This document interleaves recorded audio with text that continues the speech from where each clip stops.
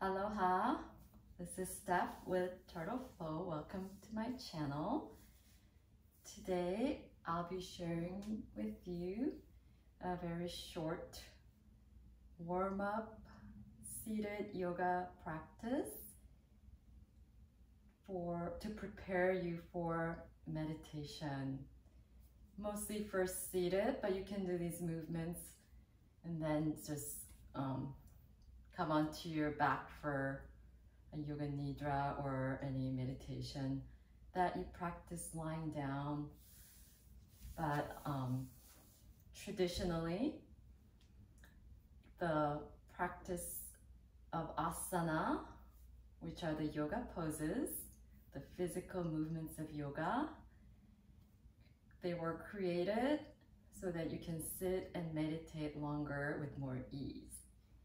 So the longer you want to lengthen your meditation practice as you advance your meditation practice, the more movement is going to help you sit in that ease. So this is just a very short movement. It's a seated practice when you are busy and don't have time for a full yoga practice. So these simple movements will still be very helpful to prepare you for it. So to begin, come to any comfortable seated position, either with your foot forward or shins crossed. And if you feel like it's challenging to sit tall, if you're rounding, straining your lower back, your hips are really tight and your knees come up high, then sit up on a blanket or two or on a cushion. Take a moment to sit tall, grounding into the earth through your sit bones. See if you can lengthen through the crown of your head as if there's an imaginary string pulling you up to help you sit tall. Keep your heart open, shoulders relaxed, and the palms can face up, resting your hands gently resting on your thighs. So palms facing up are for receiving. And if you're in more of a need of grounding, then flip your palms to face down. So each day is going to be different, so tune into what would serve you the best. And take a moment to gently close your eyes and start with some deep diaphragmic breathing in and out through your nose.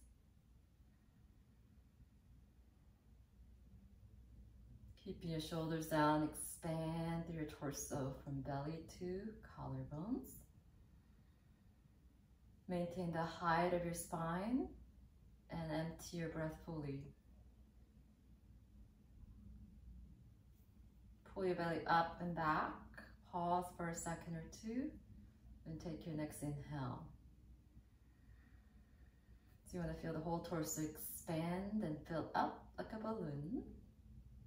And then completely empty out deep diaphragmic breathing to ground you and calm you.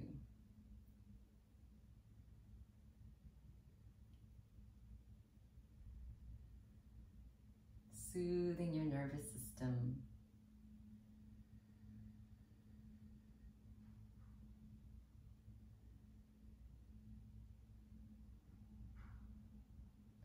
And then take a moment to just Keep breathing deep in and out through your nose. It's the yogic breathing. And if there's a lot of tension built, feel free to sigh out and exhale through your mouth, lion's breath. Stick your tongue, you can even stick your tongue out or just simply open your mouth and just let it out.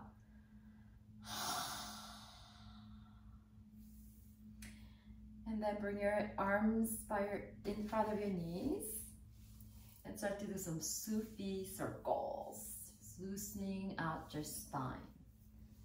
So you want to link your movements to your breath, breathing in and out through your nose. Inhale to the right and forward, exhale to the left and back, or however you were guided to lean. And then feel free to switch direction. So it doesn't matter which side you start with. The most important thing is that you're moving with your breath and then some days you just want to make a very small circle. And other times you want to make it very fluid and loose. Sometimes you want to add your head. Make it very sensual and flowy. So just tune into the way your body wants to move to the rhythm that feels right for you. And you're also going to notice the shifting of the weight in your pelvic bowl from your sit bone, pubic bone, sit bone to tailbone. And then at the end of your next exhale, come back to that center line, sit tall. We're to lean back, bring your feet out flat on the floor, slightly wider than your hips. And then do some windshield wipers by swinging your knees side to side. That helps to loosen up your hip joints. And then sometimes if you want to go deeper into that outer thigh, IT band, especially if you run a lot or drive a lot, you can even kind of pause for a few breaths and put one foot on top and just make it very heavy. So instead of efforting to press down, you just want to make it like a dead weight and breathe. Be very mindful of your knees uncross and then maybe do it on the other side. So you can move dynamically or you can hold for a few breaths. Just making this top leg very heavy and breathe. Then um, uncross, come back to your center. And then we're going to cross our legs back and switch the opposite way. So opposite foot in the front. And if you don't remember which foot you started with, it's always better to start with the right foot and then do the left foot. Or we all have our habitual way that we naturally go. So do the opposite awkward way. So again, if you've had your foot in front of each other, you can have your foot in front of each other or you can cross at the shins. Coming into Sukhasana, easy pose. And this time you're going to inhale to reach up. Exhale to lean to the one side. Keep the opposite grounded. Open up the side body. Inhale to reach up. Exhale to the other side. Make sure you're not resisting with that bottom arm. Relax. Lengthen with your inhale. Exhale to drop. Grounding through the opposite hip. Very nice. One more on each side. Inhale to reach up. Exhale. Lean. Side bend. Inhale to reach up. Exhale. Lean. So try not to lean drop forward or lift up too much. Go straight sideways. Good. Inhale to reach up. Exhale, release your arms. Let's do some shoulder rolls. My hair is uh, all over the place today. Now you can do some neck rolls.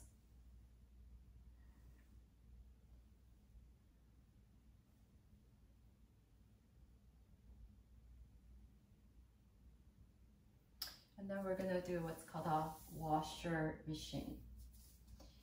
So you're going to bring your arms out to the side, palms face up. Elbows are shoulder height. And then rest your hands on your shoulders. So the thumb is in the back, four fingers are in the front. And then gently just keep your spine straight and twist to one side or the other. So You don't have to do like the deepest twist, just do a very gentle, natural twist. Keeping your spine tall, we're twisting from the waist. Think of yourself like those washer machine that goes ooh, ooh, ooh, ooh. This is detoxifying, good for spinal health. You inhale, exhale, inhale, exhale, and just go at your own pace. Sometimes you want to move very slow, other times you want to move fast. Can link the movements to the breath. Depending on your mood, what your needs are, honoring what is present for you. What is serving you? What would nurture you today at this moment? So same movements, if you do it with awareness and mindfulness, it's very different each time, each day. The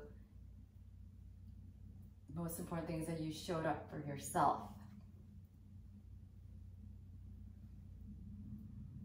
Then you can also switch directions by just switching the breath. So if you started with inhale, exhale, inhale, exhale, you would go inhale, exhale, inhale, exhale. So opposite, start with your inhale on the opposite side. So just do a few more breaths just like that. And you don't really have to switch breath here. It's not that important, but you can also do switch the breath halfway. And then sit tall and just make big circles with your elbows and loosening out the joints and the shoulders. Letting go of all the burdens that you're carrying, whatever's weighing you down through this movement and breath. Again, you can make very small circle or make a big circle Inhale forward and up, exhale back and down. And then you can also switch direction. Inhale, back and up, exhale forward and down. So it doesn't feel like you really switch directions. Once you start, it's just the starting point, and then once you get going, it feels pretty much the same. But just making that switch helps to balance your brain hemisphere, the right and the left hemispheres. And then kind of shake everything out. Sit tall. Inhale to reach up. Exhale to twist.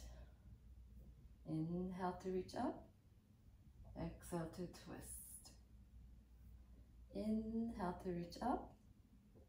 Exhale, twist. Again, twisting from your waist. Inhale to reach up. Exhale, twist. Next time, we're to hold for three breaths. So the back hand helps to helps you to sit tall. Front hand, you're to pull and then draw that opposite shoulder back to open up and deepen your twist if it's available to you. You can always back off if it's too intense. And then inhale to center, reach up, exhale, twist to the other side. So back hand helps you to sit tall, front hand helps you to twist, pull. And you want to expand through your collarbones. Draw that shoulder back and breathe. Getting taller with your inhale, twist with your exhale. Taller with your inhale, twist with your exhale. Letting go of anything that's not serving you. Creating space for what you're open to receive. Good, inhale to center. Take a moment to sit tall again, coming back to that starting point. and maybe this time you want to keep the hand position the same as how you started. Or maybe you started with grounding, but now you're more open to receive. So you can either have your palms up or down, depending on what you're in need at this moment. And just take a moment to simply sit and observe.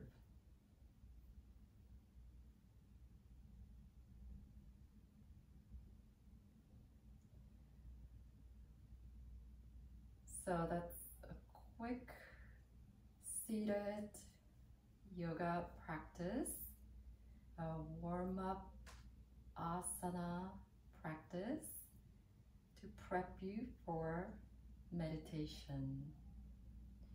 So you can just sit here and go into your meditation of your choice or whatever practice you have. Again, it's always good to pick one and practice consistently for at least seven days, 21 days, 30 days, or 40 days. And then reassess and change it up as needed, or sometimes you just stay with the same one for a whole year. Or years, even. So it's about consistency and showing up yourself gratitude for showing up yourself and happy meditation. Or you can lie down for your yoga nidra session from here. So thank you so much for sharing your practice with me. It's an honor to share this practice with you and connect with you through YouTube. So please be sure to subscribe if you haven't. Share this video with anyone who you think might benefit from it. Like and comment so that more people can see this video. So have a wonderful rest of your day or evening. Namaste. And go within and find your inner sparkle. See you next time.